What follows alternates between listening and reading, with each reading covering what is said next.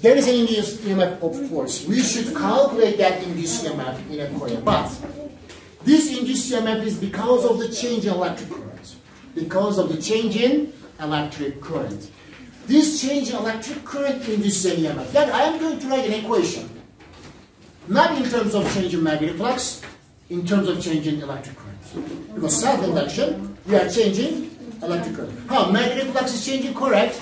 But I will write an equation which includes delta I instead of delta phi. So, self-induced EMF, I'm going to say that. How can we calculate it? First thing, we know that these three quantities are directly proportional. What are they? I, B, and phi. I is electric current. If electric current increases in a coil, absolutely magnetic field increases. Remember, I am proportional. If magnetic field is increasing, magnetic flux also increases. Yeah, these three are always proportional. Or all together decreases. If I make a change in electric current, can I say, can you say that there's a change in magnetic field? Yes. If there's a change in magnetic field, can you say that there's a change in magnetic flux? Yes. Then these three are also proportional. Change in electric current, change in magnetic field, change in magnetic flux. These three are also proportional.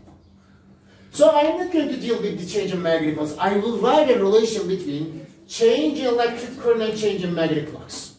Yeah, if you make a change in electric current in a coil, absolutely magnetic flux will change proportionally. Okay? If I divide them by delta t, why am I doing that? Because I want to get the rate of change. How, what is the relation between the rate of change of electric current? What is the relation between the rate of change in the magnetic flux? They are related as well. Delta I over delta t, rate of change electric current, delta phi over delta t, rate of change of magnetic flux. They are also directly proportional. And if you make a change in electric current, which means you will make a change in magnetic flux. If rate of change electric current is greater, rate of change in magnetic flux is also greater. They are directly proportional. Then I will multiply both sides by negative n. If I multiply both sides by negative n, I got an equation which would I know. What is this equation? Faraday's law. Law of electromagnetic induction. Negative n delta phi over delta t. What does this calculate? Inducement negative n delta phi over delta t calculates induced EMF. And instead of this, I am going to write E, which is induced EMF in the coil. Induced EMF in the coil is proportional to three quantities, negative n, delta phi over delta t. Okay? This is a proportionality. Every proportionality can be converted to inequality by inserting a constant. If we insert a constant. So by inserting a constant proportional to Gaussian drive inequality is equal to n times a constant, I inserted the constant, times delta i over delta t. This n times constant is called coefficient of self-induction of the coil. n times constant is called coefficient of self-induction of the solenoid and represented by capital L. Capital L coefficient of self-induction of the solenoid. It's a number, it's a number, belongs to a coil, which is going to be like 0.1, 0.2, 1, 1.5. It will be given the question to you. And its a symbol is capital L. Its unit is Henry. Its unit is Henry. But Henry is equal to 1. By using this equation, I can get it. Tell me, what is unit of induced EMF? What? equals a unit of coefficient of self-induction is Henry, right instead of L Henry, Henry, multiplied by, what is unit of electric current? Ampere. Ampere. Divided by, what is your delta T? Second. So now I can get equivalent of Henry. Just flip ampere per second and take other side. Flip it.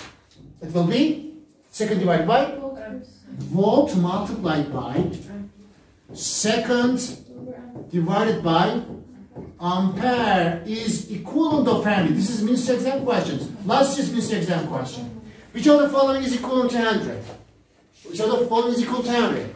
Volt times second divided by ampere. How did I get it? By using this equation. This equation which we are going to use for calculating this EMF right now. negative L delta I over delta T. Did I convert Faraday's law to this one? Yes. In Faraday's law, negative N delta phi over delta T. It was, but this is negative L delta I over delta T. So now, by using the change in electric current, I can calculate this EMF. Now I'm going to do an exercise about this. You will see that it's not that hard. It's not that hard. This is one of the popular ministry exam question. Electric current grows. What does grow mean? Increase. Electric current increases. In a circuit from 0 to 10. From 0 to 10. Yani initial electric current is 0. Final electric current is 10. That's all. It's an increase, eh? Every increase change must be positive. What is delta I then? Tell me. Delta I? 10. 10 minus 0. Yani positive 10. Positive 10 ampere. Final value is 10. Initial value is 0. 10 minus 0, which is 10. Positive 10. Increases during 0.1 second. What is 0.1? Time interval, huh? Delta t. Delta t is 0.1 second.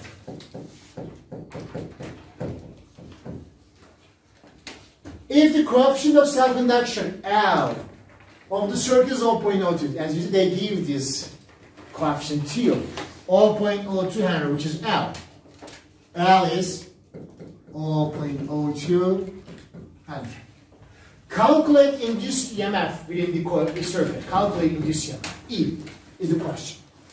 So I know that E is equal to negative L delta I over delta. In this title, be careful about not forgetting this negative. This is the only thing you should forget because the others are very easy. Never forget negative. It's coming from the last one again. Alright, is equal to negative. How much is L? 0.02. 0.02. Multiplied by how much is electric current change? 10. How much is delta T? 0.1. Use your calculator. Result is going to be negative 2 volts. So in this EMF, in this coil, because of the change in electric current is negative 2 volt. Choices, they will give both positive 2 and negative 2. Choices will be like this. A is positive 2 volt, B is negative 2 volt, C is positive 4 volt, D is negative 4 volt, and so on. Uh, which one is the correct answer? B is the correct answer. Now we are going to learn how to calculate coefficient of self-induction of a solenoid. And we know that coefficient of self-induction of solenoid depends on specifications of the coil, yani properties of the coil.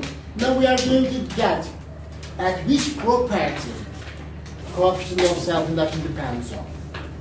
Okay, assume that we have a solenoid with a number of turns n, n turns, and its length is L, cross-section area is A. For this solenoid, if you make a change in electric current, we know that there will be a change in magnetic flux. And induced EMF will be, uh, can be calculated. In this EMF equation, we have two induced EMF equations. One of them is in terms of change in magnetic flux, which is known as Faraday's law, negative delta phi over delta T multiplied by N. Second one is in terms of change in electric current, negative L delta I over delta. These two equations are equivalent because both are calculating the same quantity. What do they calculate? Induced EMF. So, can I make them equal? Yes, I can. Because both are calculating E. So if you if I make them equal, these delta t's will simplify. These negative signs will simplify. From this equation, n times delta phi is left. From this equation, L times delta I is not. This tells you if there is a change in magnetic electric current, there will be a change in magnetic flux as well. But if you keep the electric current constant, the magnetic flux is also constant. And then you are going to remove this two delta sign. That is going to be equation. This equation is one of the important equations. One of the important equations. I put it in uh, different color, yellow. This equation relates electric current and magnetic flux. This equation relates electric current and magnetic flux of a solenoid. Also, last year a question is asked about the unit of Henry. You know, these equations are also helping us to write equivalent unit. Like this. Now, tell me what is, n is just a number, huh? n has no unit. But what is unit of magnetic flux? Weber. Weber, let's write it here. Unit of magnetic flux is Weber. Weber is equal to, what is unit of coefficient of self-induction? Henry. Henry, let's write it. Henry. Multiplied by, what is unit of electric current? Ampere. Yes. Then can you say that 1 Weber is equal to 100 times ampere? Yes. Yes, we can say. 1 Weber is equal to 100 times ampere. But let's say they, this, they ask reverse. 100 is equal to Weber divided by ampere. So if you divide both sides by ampere, so Henry is equal to 1 Weber divided by ampere. Henry is equal to 1 Weber. So this was 2021 ministry exam question. 1, 1 Henry is equal to 1 Weber divided by ampere. Also you can use this equation, this equation for calculating magnetic flux. If electric current is given, L is given, N is given. If these three are given, you can calculate magnetic flux to resonate. Okay, now we will advance until here, this important this equation, but we will continue. How can we calculate magnetic flux? A times B. Because magnetic flux for a solenoid is maximum, because magnetic field lines are passing through parallel, and cross-section is always perpendicular to the magnetic field. So, magnetic flux for solenoid is maximum. Yani A times B or B times A. Instead of phi, I will write B times A. Uh, you know, chapter 5, section 2. Magnetic field of a solenoid. Equation. What is the equation for magnetic field of solenoid? Mu I n divided by L. Instead of B, write mu I n divided by L. Okay? I wrote it in here. Mu I n divided by L. So right side has electric current. Left side also has electric current. They will simplify, correct? So these i's will simplify. What is left? Mu and mu is left. n times n? n squared. Multiplied by area divided by mm-hmm. L. This is the equation for calculating coefficient of self-induction of a solenoid. Coefficient of self-induction of the solenoid depends on, now let's continue. Mu, what is mu? Magnetic permeability of the medium. Through inside this tube, what is the magnetic permeability in here? Which medium you are using? Depends on number of turns. How many turns are there? Depends on cross-section area. This area is how much? Depends on length. What is the length of the solenoid? Four factors determine the coefficient of self-induction of the solenoid.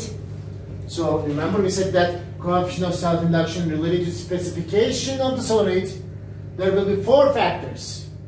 Medium. So which determines mu? Second one, number of turns. Third one, cross-section area. Fourth one, length. These four factors determine the coefficient of self-induction of a solenoid. Co coefficient of the self-induction of the solenoid is proportional to mu, magnetic permeability. Proportional to square of number of turns, proportional to area, cross-section area of the solenoid, and inversely proportional to length of the solenoid. Now about this, there's a question. This is the question, also ministry exam question.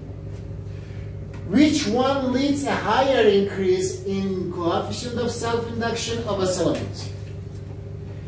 A. Doubling the number of its turns. B. Doubling its cross-section area. Which one leads a higher increase? We know that L is proportional to square of number of turns. If number of turns doubled, 2n, which is square root 2n. Square of 2n is what? 4. 4n squared. As you see, it increases by 4. But for area, it's not like this. L is proportional to area. If area doubles, L also doubles, directly proportional. Doubling the number of turns leads to higher increase in the coefficient of self-induction of the solenoid. Why? Because it is proportional to square of the number of turns.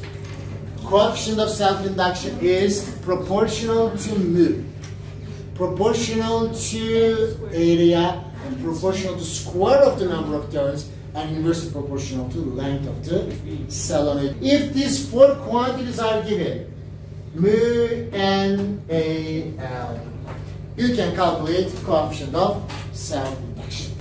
An air solenoid of 10 centimeter, length is 10 centimeter. But we don't use centimeter in calculation, correct?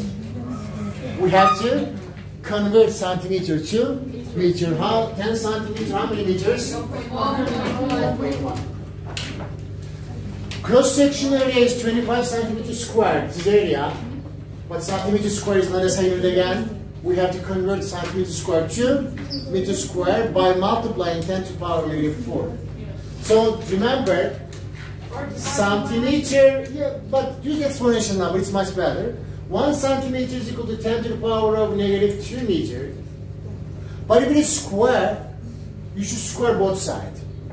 Square of 1 is 1. Square of centimeter, centimeter square is equal to square of 10 to the power negative 2, 10 to the power negative 4. Square of meter, meter square.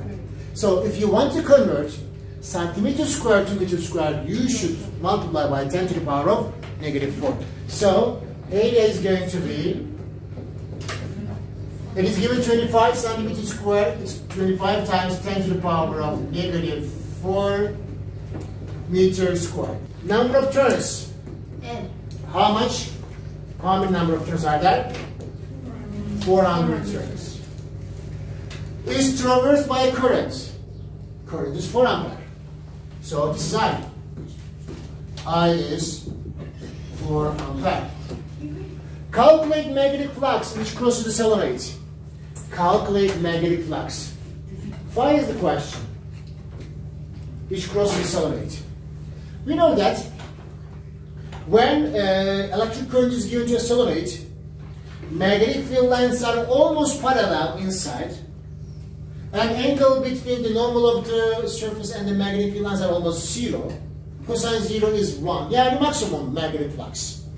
So area of the cross-section area is almost perpendicular to magnetic field lines, and maximum magnetic flux is calculated. What is, what is the equation for magnetic flux? Maximum magnetic flux. A times B. So I will now solve part A. Magnetic flux equation is area times magnetic field strength. Area is given, but magnetic field strength is not given. We should calculate it. Do we know? We know that from chapter 5, section 2. Okay, let's write it. So phi is equal to area times, so B is equal to mu times I times N divided by L. So now all are given. You are going to insert all the given and it will calculate. So how much is the magnetic flux? Get it. Area is 25 times 10 to the power negative 4. Mu, we know that it's 4 pi times 4. Air is 10, 10 to the power of negative 7. I is given as 4 ampere, N is given as 400. Correct? Yes. Divided by, how much is the length? 0.1. 4.1. Only you need to use your calculator, even you don't need any bracket in here. When you multiply them all and divide by 0.1, Five times. result mm-hmm. 5 times 10 power negative 5. So phi is going to be, magnetic flux is going to be 5 times 10 to the power of negative 5 Weber. This is magnetic flux. Hocam miyo bize veriyor. Tabii it will be given, don't worry about this, it will be written in here. I will continue with part 2, but now for part A and for this I calculated the magnetic flux. How much? 5 times 10 to the power of negative 5. Weber. Now, part B. Be careful about part B. If the current is reversed during 0.1 seconds, delta T. Delta T is 0.1 second. Current is reversed. Calculate induced EMF E is the question. Now, what does current reverse mean? Elect- magnetic electric current just changes direction. If electric current direction changes in a solenoid, magnetic field direction also changes. In the first one, magnetic field is from left to right. But now, when electric current is reversed, it comes from right to left. Now, tell me. In here, angle between the magnetic field lines and normal is zero. Cosine zero is one. But in the second one, when current is reversed, angle between the magnetic field lines and normal of the surface is how much? What is this angle? 180. Cosine 180 is how much? Negative 1. What does it mean? Magnetic flux changes from positive to negative when electric current is reversed. So initial magnetic flux was 5 times 10 to the power negative 5. So when electric current is reversed, magnetic field is reversed, magnetic flux changes from positive to negative. Final magnetic flux is going to be, in this case, negative 5 times 10 to the power of negative 5 Weber. I know what initial magnetic flux is. I know what magnetic, final magnetic flux is. Can I use Faraday's law? Yes. Yes, I can. I will use the Faraday's law now. B. Faraday's law says that E is equal to negative m delta phi over delta t. And I know that negative n delta phi means final magnetic flux minus initial magnetic flux divided by delta t. Now let's insert the numbers. How much is that? 400. Let's insert in 400. And how much final magnetic flux? Negative 5. Don't forget this negative. Negative 5 times 10 to the power of negative 5 minus. How much is the initial magnetic flux? 5 times 10 to the power of negative 5. Close the bracket. Divided by how much is delta t? 4.1. Only don't forget to use this bracket. When you use your calculator, you will get a result is equal to positive 0.4 volt. This problem can also be calculated in an alternative way. Uh, first, uh, you calculate the coefficient of self-induction L by the equation L is equal to mu n squared A divided by L. So mu is 4 pi times 10 to the power of negative 7. n is given in the problem as 400 and square it multiplied by area of the co- solenoid is 25 times 10 to the power of uh, 4 divided by L which is equal to 0.1 so use your calculator. 4 pi 4 times 3.14 times 10 to the power of negative 7 times 400 squared times 25 times 10 to the power of negative 4 divided by 0.1 is 5 times 10 to the power of negative 3. So coefficient of self-induction of this solenoid is 5 times 10 to the power of negative 3 uh, Henry. So part A asks you calculate the magnetic flux. We can use the equation n times phi is equal to L times I for calculating magnetic flux. Uh, divide both sides by n. Simplify n. You can get magnetic flux as L times I divided by n.